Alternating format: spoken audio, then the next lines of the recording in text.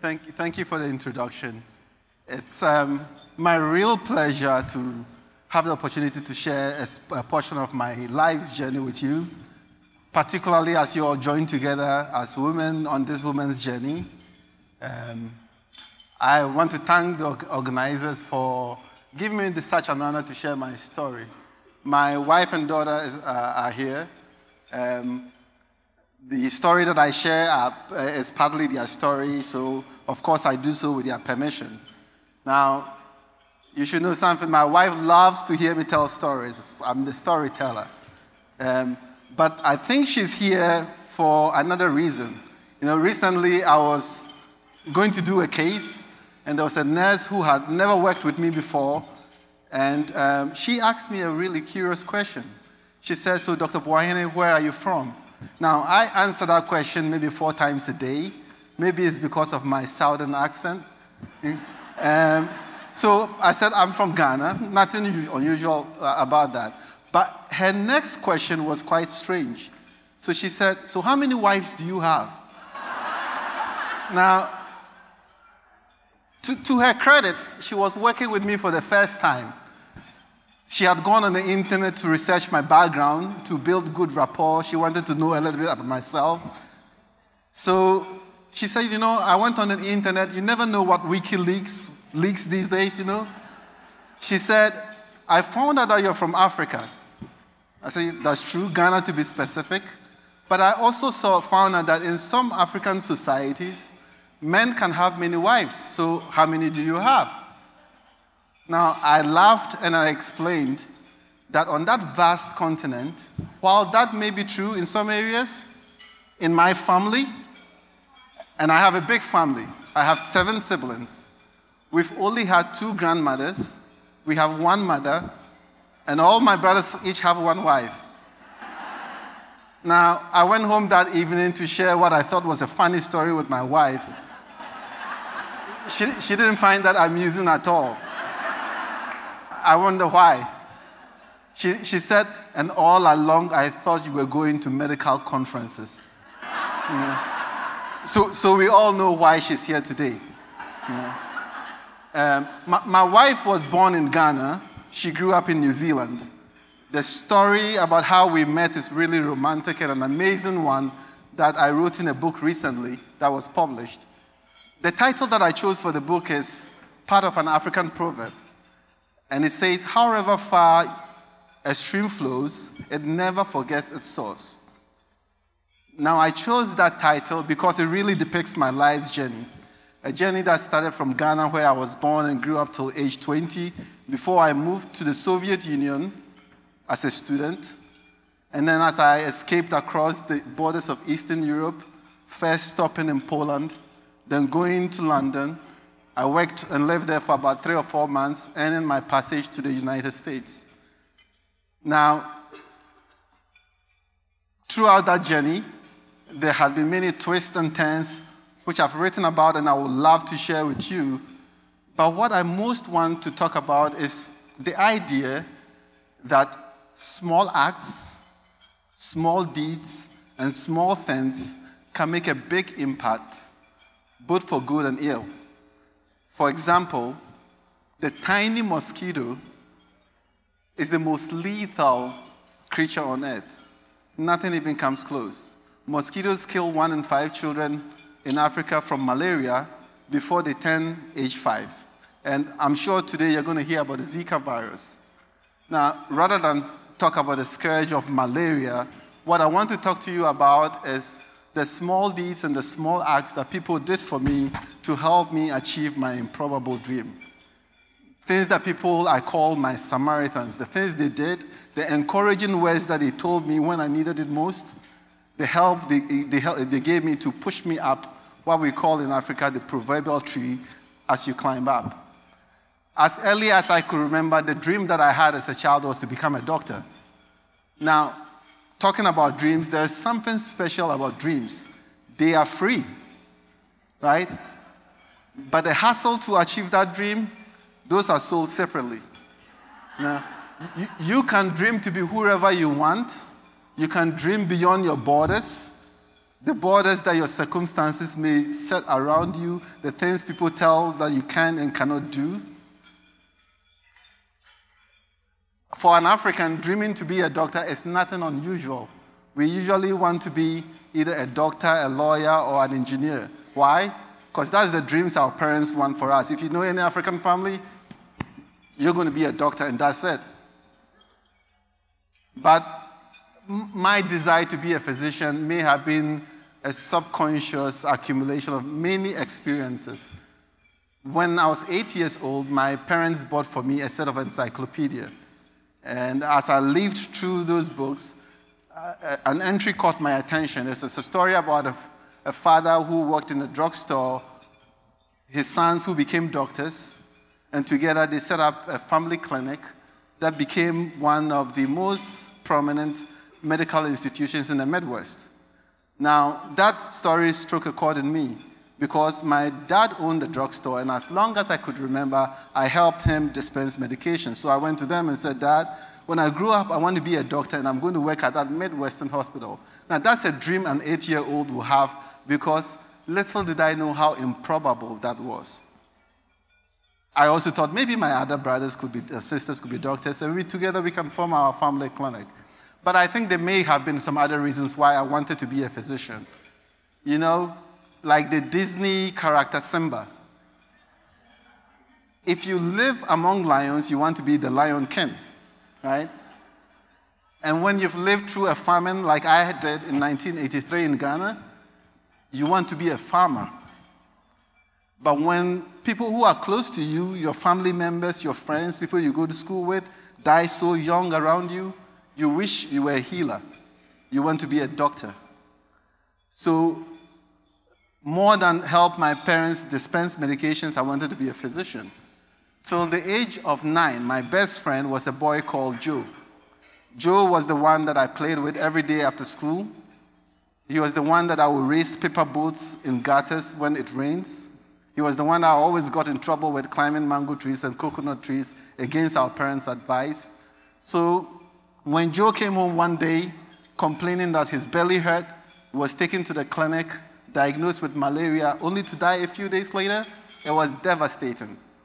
Now, knowing what I know now as a physician, I know Joe didn't die from malaria, but malaria, as it was then and it is now, is the default diagnosis for whatever ails an African, often delaying their true diagnosis and leading to unnecessary deaths.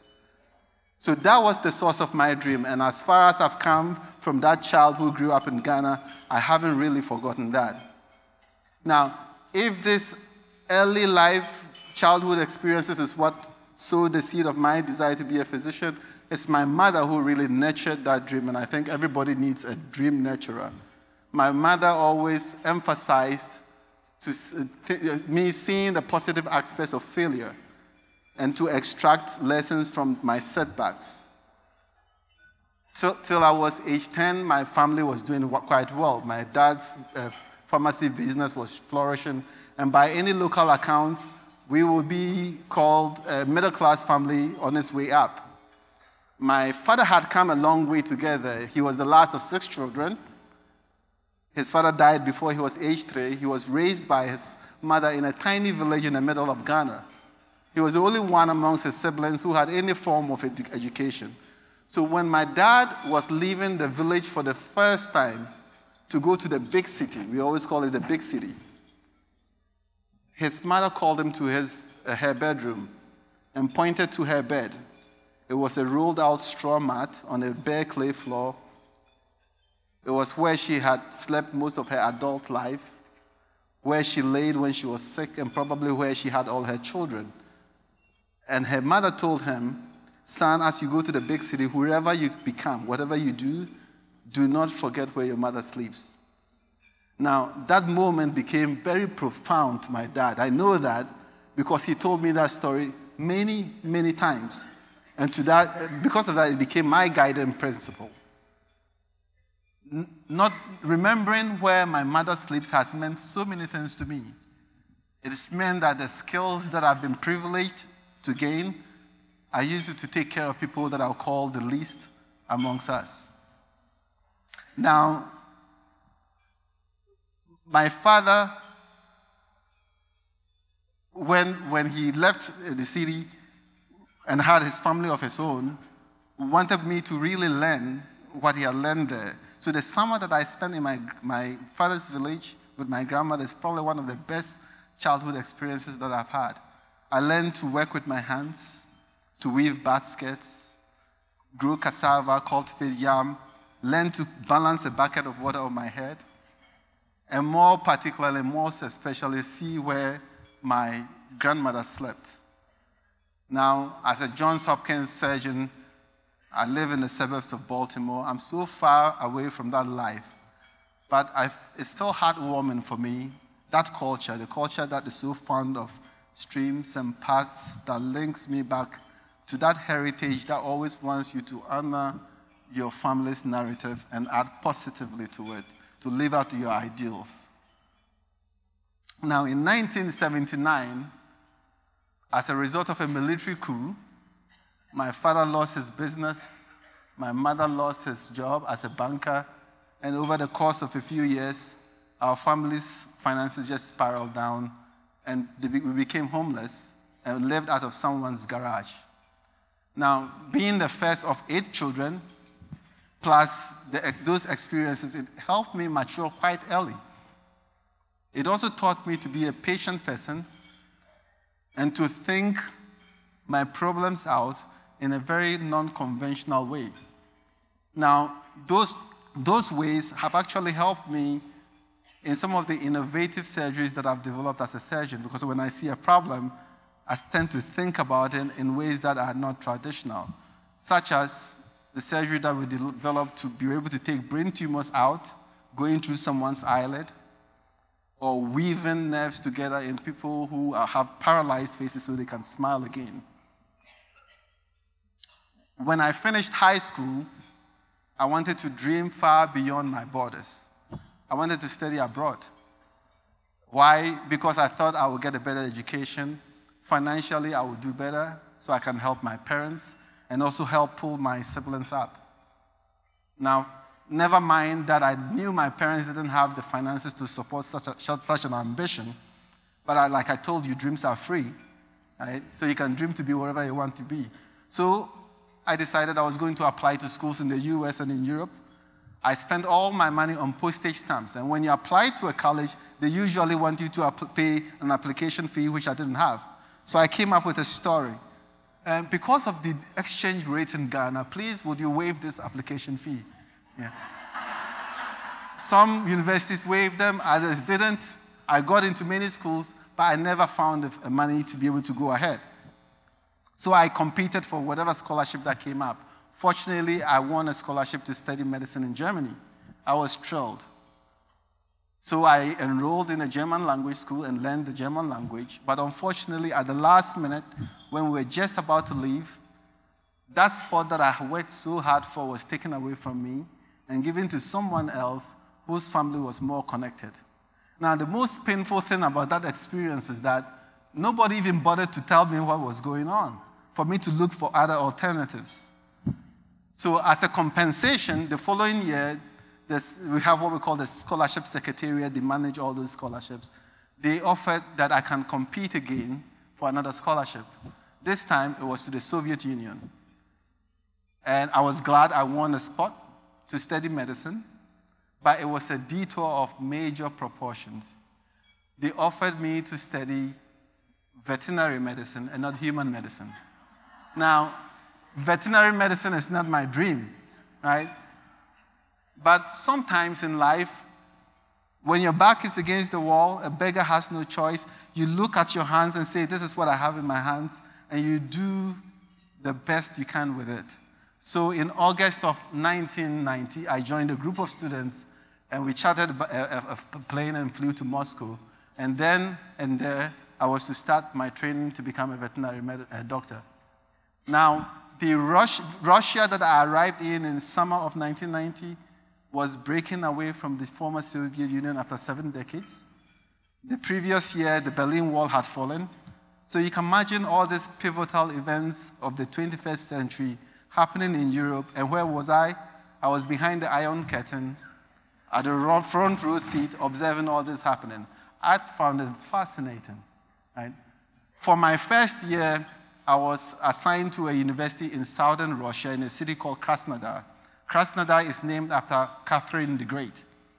That was where I was supposed to learn the Russian language alongside the first year medical uh, uh, school courses. My first month in Krasnodar was not spent in, in a lecture hall, it was spent in a hospital. And not because I was ill, and not because they suddenly changed their mind to allow me to study human medicine. But during the first few days of class, a uniformed man came to the door, called my name out, summoned me out, and out on the street was a packed ambulance. They ushered me in, closed the door. Without a word, we drove for about 20 minutes. And when the door opened, I found myself in a Soviet era hospital. I was taken to a room. My street clothes were taken off. I was given hospital pajamas and flip flops, and the door was locked. I sat down to think about what was going on. It didn't make any sense. I thought somebody made a mistake, and very soon they're going to just walk in, apologize, and take me back to school. But that didn't happen. I stayed in that room for four weeks. Every morning, a nurse would come and draw my blood. They would pass food to me through a small window. And the food they served didn't really appeal to my African senses. You know? There's a bowl that they call soup that is transparent with some cabbage leaves floating around. If you know anything about soup in Africa, it's filled with vegetables and everything you can think of, right? So that's what we're feeding me. One day they made a mistake and didn't close the door. I escaped. I made my way out into the city ten- uh, center and I ate so much ice cream. But imagine this. Here is an African boy in pajamas in a southern Russian city in flip flops playing hide and seek. Whenever I hear the siren come around, I would hide because I thought they were coming for me. Finally, when they allowed me to join the rest of my classmates, it had been four weeks of this ordeal. I had so much catching up to do.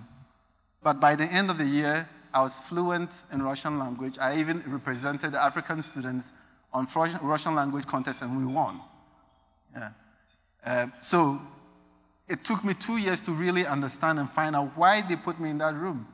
They were looking for a malaria para- parasite, but they found none that tiny bugger, still haunting me in, in, in Russia.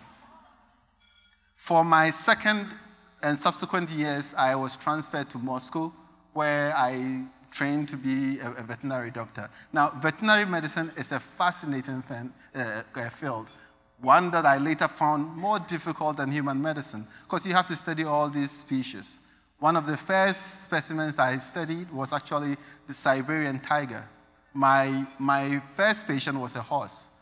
Now, there are similarities, don't take this wrong, similarities between humans and animals. Like, like uh, humans, animals do get the flu, they break bones, they get cancer, right? Now, presently, when my patients find out that I studied and trained to be a vet doctor, it makes for some interesting conversation. Yeah. I have had patients who've asked me, Can you help me treat my dog with vertigo? Yeah. Now, how about that tumor and that cancer? Now, I'm a facial plastic surgeon.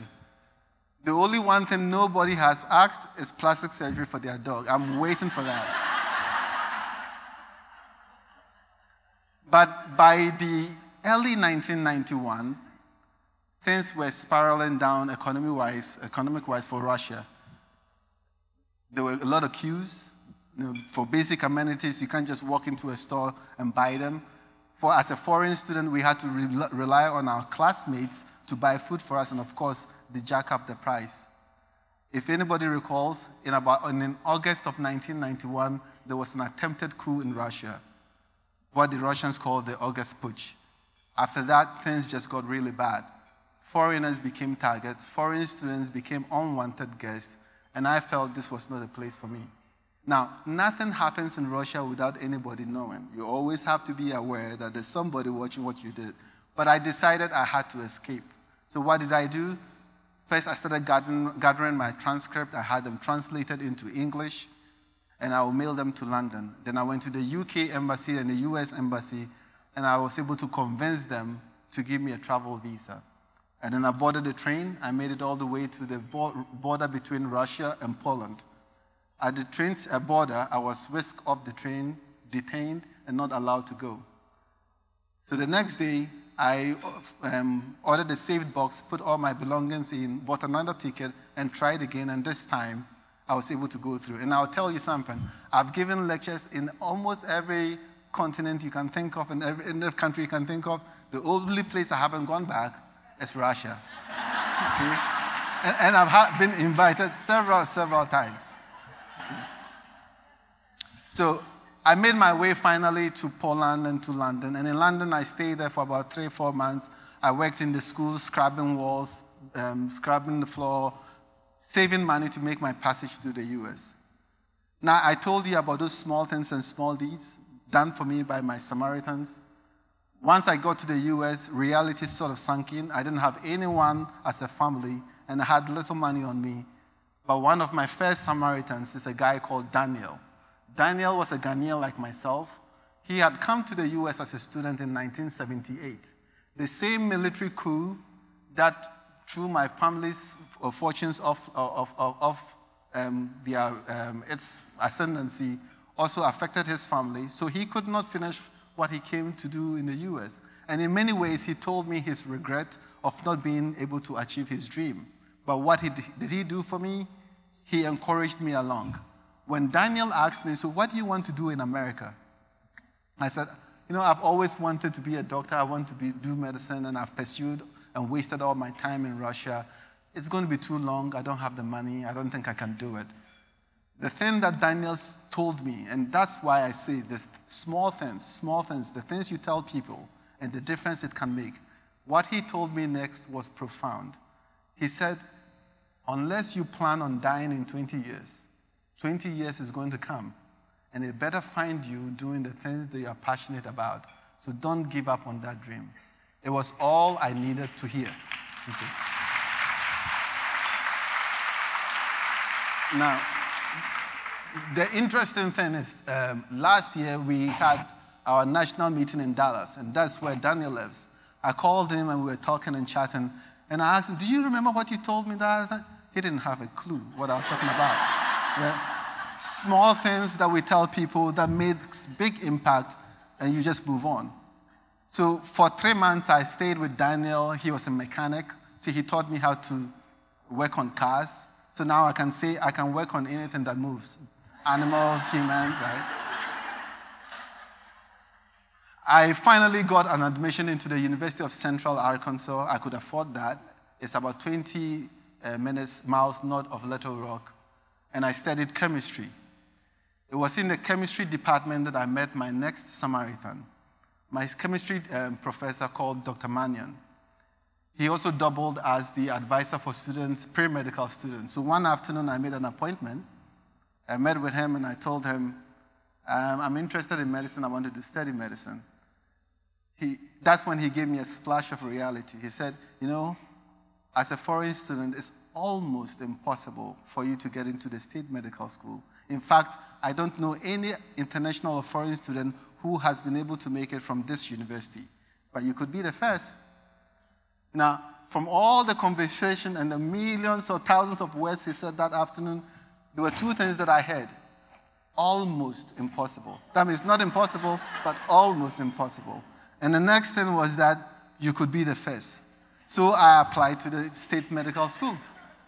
Fortunately, I got in on early admission. Early admission means by January, whereas my classmates were waiting to hear, I already knew I had a spot. But I had to find the money. But that gave me eight months. I, I tutored Russian language, I tutored organic chemistry. I worked in a factory that makes school furniture. I did everything, and I saved enough to pay for my first year uh, tuition. I didn't care what was going to happen the second, third year, fourth year. I didn't care. I just wanted to get in. Right? Now, again, just like it happened in Ghana, a week before we were to enroll and start school, I was told I could not enroll. The director of admissions called me and said, we didn't know you were a foreign student. You can't come. I said, That's not true. And that's putting it politely.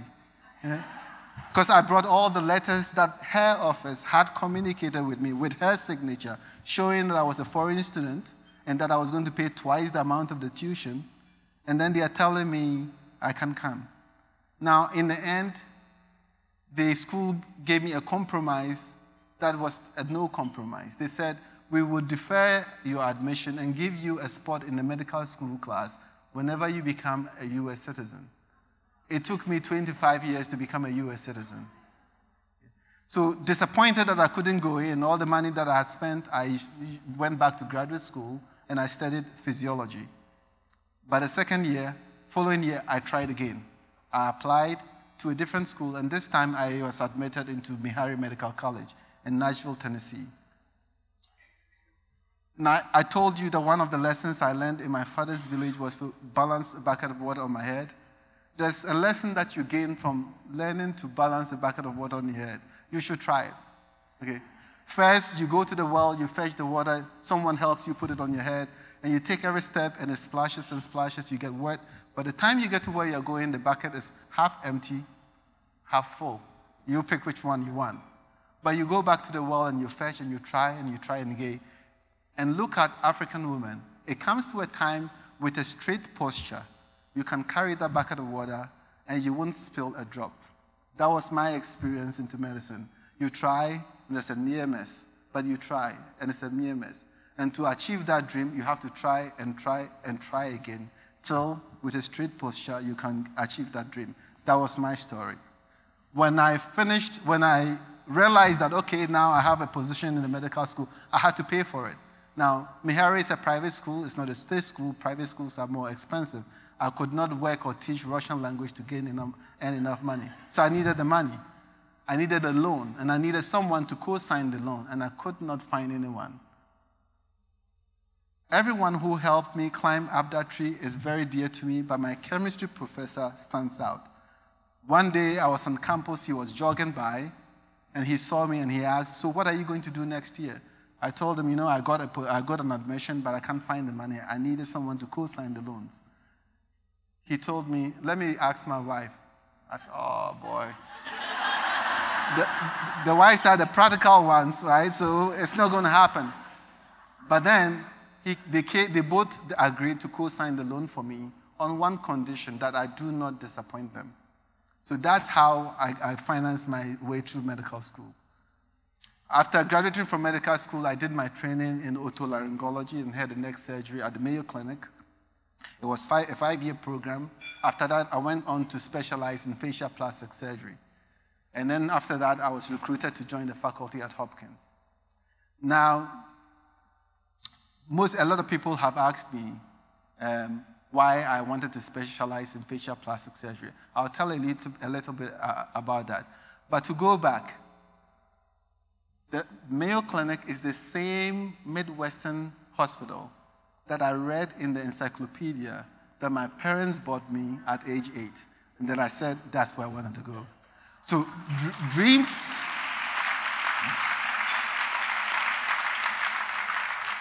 Dreams do come true. The hustle is not free, but sometimes you get a little bit help from those we call uh, our, our Samaritans.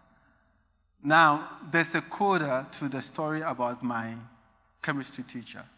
After I had been at Hopkins for about uh, five years, I was presented with a two uh, year old patient she was born, he was born without the ability to smile. He had been to a lot of medical centers, but because of his age, the traditional methods we use was not available to him. If he were to smile, it would need something unconventional, something innovative. So there was a surgery that I had conceptualized, but more, but more for someone more older. So I offered that to the parents, and three months after that surgery, the boy started to smile. It was so heartwarming when I got an email from his parents telling me for the first time I can see my son smile. Now, that's the, this is the twist. His father went on the internet, found my chemistry teacher, called him up, and thanked him for what he had done for me, and sent him a copy of his um, son's picture. Now, the act that my professor did for me, just like the tiny mosquito, has helped me help so many people here in the US and people that I've helped on surgical missions in my home country in Ghana, Bangladesh, Rwanda, Mexico, Peru. So tiny things and the power and the snowball effects that it has. Recent, not too long ago, I went to Ghana to do surgical mission and was presented with a child with a cleft lip deformity. It took me 45 minutes to fix that cleft lip um, deformity. And when I handed that baby to the mother, the mother started crying. And I thought I did something wrong. You know, plastic surgeons, we, we thrive on feedback. Oh, it looks so good. Uh, now he was crying, and um, I'm thinking I've done something wrong. But the more we tried to explain, the more agonizing her cry, her cry was. When he finally controlled herself, she said, If I knew that this could so simply be done, my other two children would be alive. So I would want to end with two ideas, both of them that are captured in African proverbs. The first is this never forget the source of your dreams or your streams. And the second, if you think you're too small to make a difference, try sleeping in a closed room with a mosquito. Thank you.